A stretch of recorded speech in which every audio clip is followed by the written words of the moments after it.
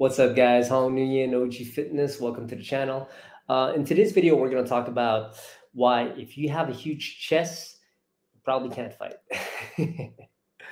okay, so I want to tell you guys a little story about myself. Uh, personally, I at one point I was working out my chest a lot, and I went into about maybe 198 pounds. So right now I'm 156, and when I was that weight, and then I started training uh, in martial arts, specifically striking, I've noticed that I had a hard time with my guard. So what do I mean by that? I couldn't close it properly. So in boxing, you want to keep your forearms vertical like this, right? And you want to have this ability here. I couldn't do that. My arms were like this for the most part and it was it was hard for me to keep it like this. It was a struggle. And i couldn't even close it. Now i can because i stopped training my chest. So the way i look at it now is that the chest itself it's kind of a useless muscle. It's good for pushing right? It helps in the, the pushing uh, movement.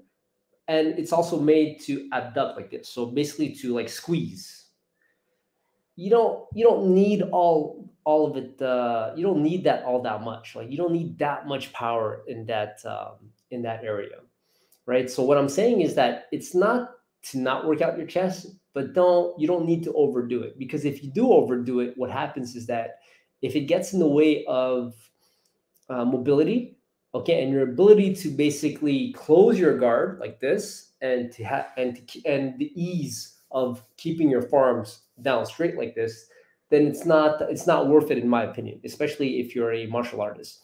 Now I know it looks good, and you can have a very good looking chest, but that can be functional at the same time. Um, and listen, there, there are guys out there who have naturally they have good genetics, so they'll work out, they'll do a couple of push-ups, and they'll have like a crazy ass chest, um, and that's genetic, of course. And then from there, well, they would have to work a little bit on their mobility so that they, they're able to, you know, bring this towards the inside here, right? To do this and to keep it here with uh, with not too many problems, because this is going to make you uh, better defensively and it's going to help you with your your striking, your boxing. So that's why I don't suggest um, working like uh, working that hard to get such huge chest just because you know it looks good because it actually won't do anything for you. Now, of course, I'm talking about a huge chest. You know, like we have to be clear on one thing. When I mean a big chest, I mean like a bodybuilding chest, like a chest that you guys saw at the thumbnail, where it's like popping from all sides. It's 3D. It's huge. You know, like it's really it's big. It's really big. So those are the kind of chests that I'm talking about. So and and here's another little uh, side note too is that if you if you see a guy who who that's all he does, like he he's huge, that usually means that he spends all his time in a gym and if he's ripped on top of that, he's probably on roids. and if he spends all his time in the gym, most likely he's not spending his time uh, on the mats or in the ring or you know like uh, working pads or whatever. Like he's not training martial arts. So I wouldn't be too worried about a guy like that because um, I know that he probably can't fight, and even if he can, he has a limited. His skill set isn't going to be all that good because he doesn't spend that much time like uh, you know doing martial arts. His mobility his this his that and i think that is cardio too because also if you have a really big chest i mean muscles consume a lot of energy uh, a lot of resources a lot of oxygen. So the more you want a lot of muscles but you want them in the right place. And then you have to have the cardiovascular system to back that back that up and you also have to learn how to breathe while you're you're uh, you're doing your martial arts so you don't just gas out you have to know how to pace yourself essentially but um, yeah, but having a huge chest, it it kind of it's kind of useless, you know. So I think that the way you have to go up, go go for what you have to go for is you definitely want strong, big, strong legs, right? Uh, well, as big as your genetics will allow, but you don't have to spend all your time in the gym. Like that's there's a point where uh, of diminishing return. So you want to have big, strong legs. You want to have big, strong back. You want to have big, strong, well, very strong core. Um, shoulders, very strong shoulders, very strong, uh, stable neck, and solid grip, right? That's really all you need. And just by, if you focus on those things, you'll be better off.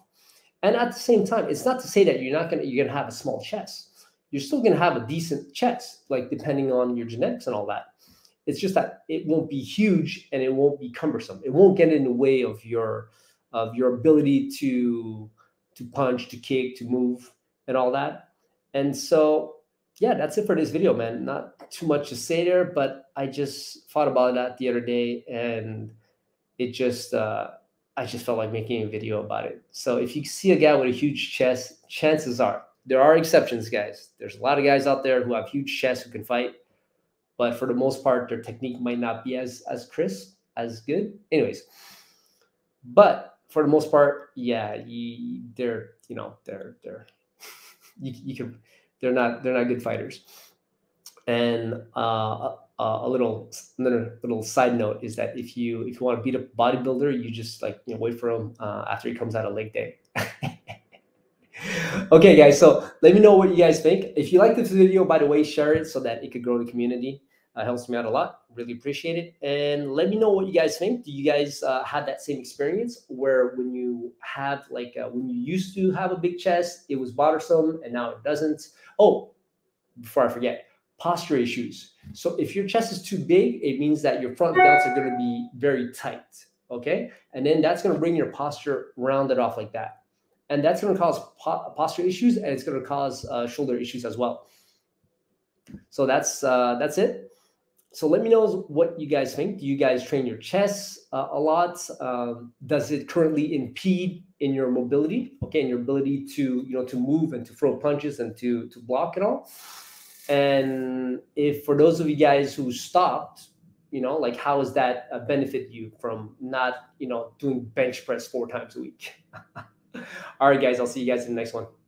Peace.